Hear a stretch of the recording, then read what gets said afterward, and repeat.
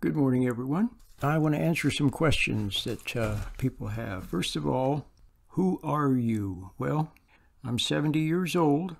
I was born in Wyoming, grew up in Utah, came to California to go to college, and uh, had kind of a, a nice life, a regular nice life. Got married, went to work for a corporation, and taught some college classes.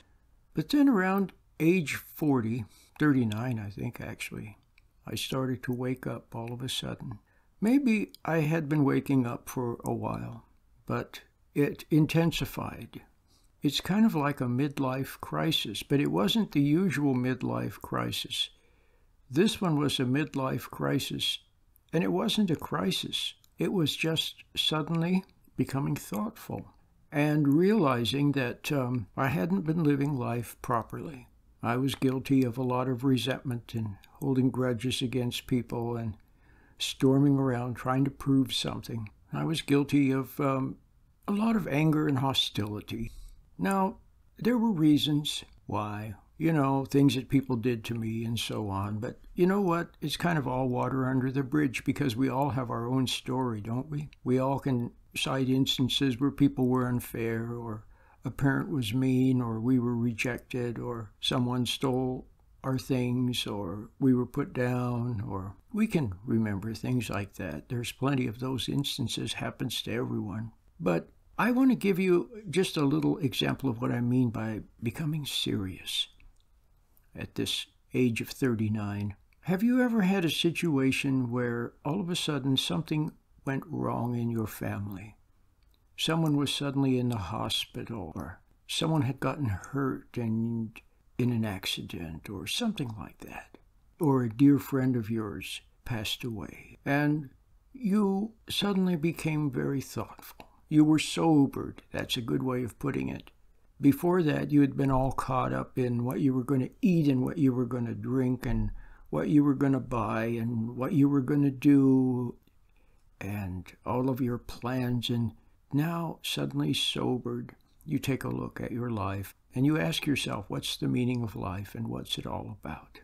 Well, that's kind of the way it was, except it came not in response to some um, occurrence in my life. Although I do have to say that I was rather sobered when my father died, which had been, I think, two years before that. So if I had to point to one thing, it would be that. So it came upon me, it sobered me. So here's the thing my, I'll just use the term midlife crisis because it's something that everybody understands, but it, it really wasn't that. It was just, it was just, suddenly it was like the light was turned up, the inner light was turned up, and I began to see and realize and be thoughtful in spite of myself. You see what I mean? It overpowered everything else that wanted to carry me away. Everything else wanted to carry me away from the truth. My thoughts wanted to carry me away, my emotions, people around me, the things I was doing, obligations, work, sports, everything wanted to carry me away, food. But it overcame them all. It was stronger than them all in a very, very gentle way. And I saw my own wrong, my own resentment, my own pridefulness that had come into me and so on. I saw it. And when you really, really see that, when you really see your own wrong, what can your response be if you don't resent the light? See, it was strong enough that it wasn't just that I saw that I was wrong and then decided to roll up my sleeves and improve myself because that had never worked. I tried that also. I tried trying to improve myself and I also tried trying to improve others. See, those are just compensations. Now I just saw it in the light, and the response then, if you don't resent seeing it and you know you can't change yourself, if you just see it and are sorry, regret what you see, it leads to a sad gladness. It leads to a sadness. You're sad to see your own wrong, but you're glad to see it. You know, it's like having a tooth pulled out. It hurts to have the tooth pulled out, but then afterwards you're glad it was pulled out. You see what I mean? It was like I wanted to come clean. Have any of you ever wanted to come clean?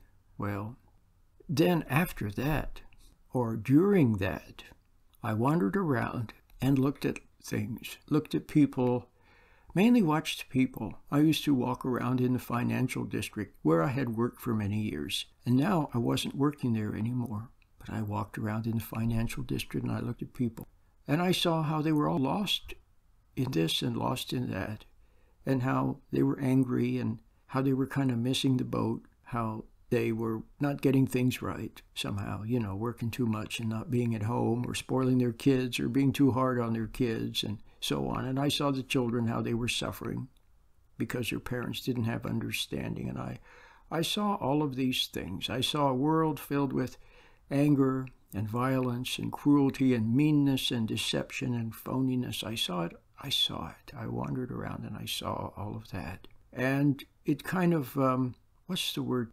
soured. It kind of soured my relationship, but not with resentment. But it just, you know, it kind of like um, made it so it wasn't something that I wanted to pursue anymore. I had been so lost in ambitious pursuits.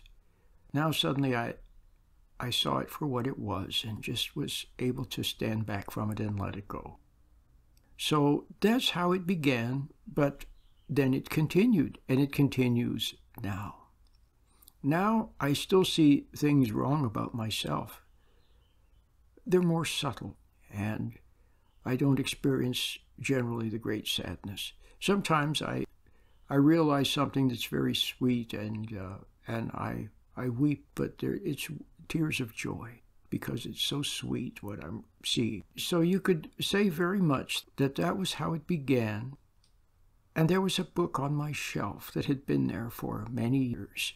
It was called How to Conquer Negative Emotions by a man named Roy Masters who had a radio program.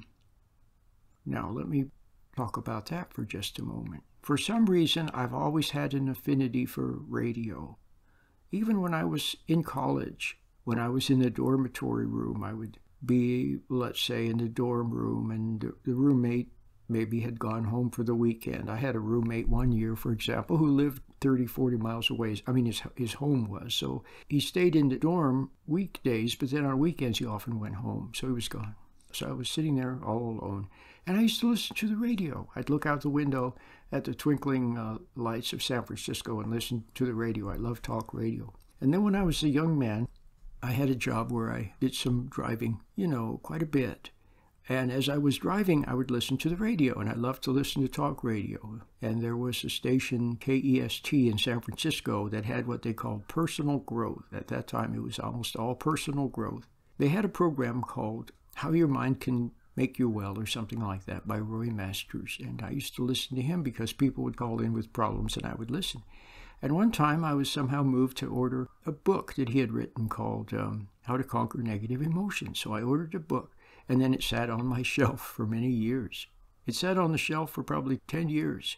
And then, around about the time that I started to sober up and begin to, to take a look at myself and see the world as it was in the light, I picked up the book and opened it up. And it was like, yes, it was so nice. And it was just exactly perfect. It was what I needed.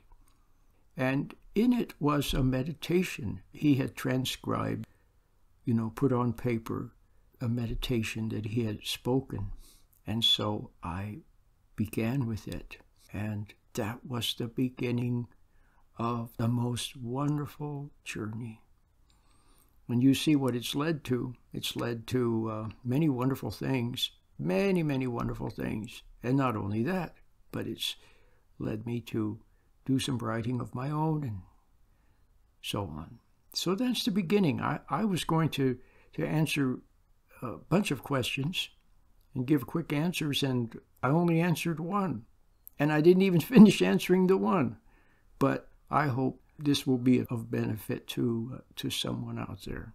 I wanted to mention one thing before I conclude, if anyone is still listening to this.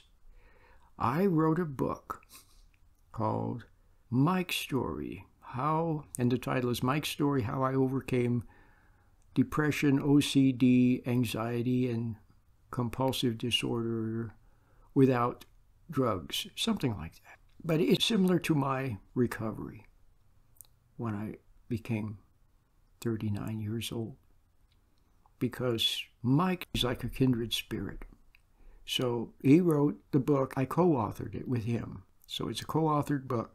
Mike would tell his story, and then I would comment and add some couple of insights of my own, and then he would tell his story. It's mainly about his story. But if you sort of relate to what I had just said in this little audio, then you might really like that book.